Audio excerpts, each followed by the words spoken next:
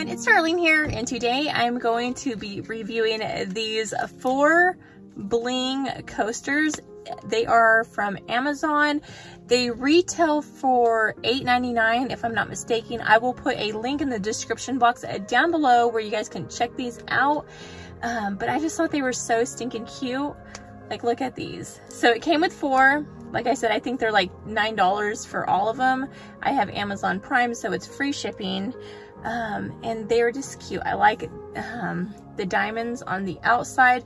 They do sell them in pink as well. And I believe those are $9.99. So $10 for those ones. And these are $8.99. I dropped one, hold on.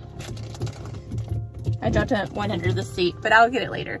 Okay, so I bought them for my car. I'm gonna go ahead and show you guys how you put them in. It's pretty easy and they just kind of give your car a more fancy feel. This is what they look up like up close. Just really pretty. Super hot today. I'm like in the car without it running or anything because I don't want the car to drown out the video. So that is why it's not on. Okay, so I'm just gonna pick up my tripod so that I can show you how to place them in the car.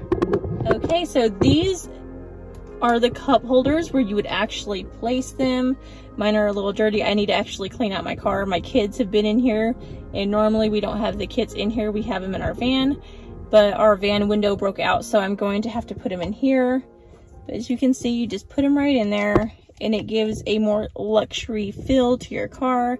I think they're absolutely beautiful. My car actually already has some in them, but I know that not all cars come with these, but these are actually prettier than those. So I do like these more.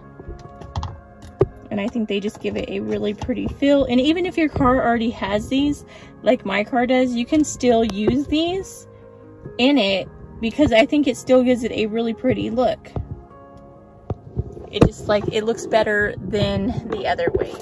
But like I said, I will put a link in the description box down below where you can actually purchase these um, along with the price and all of that fun stuff. Like I keep moving and my tripod's moving because I'm moving the car.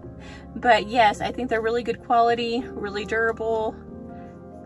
The diamonds are really pretty. I just absolutely love that as you can see and then it has this grip as you can see like i'm bending it bending it and stuff and the diamonds are not falling out or anything. So it seems like really really durable but just really cute.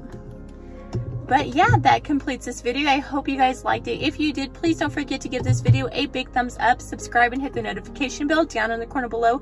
That way you'll be notified every time that i do upload a video. But until next time i will see you guys later. Bye. God bless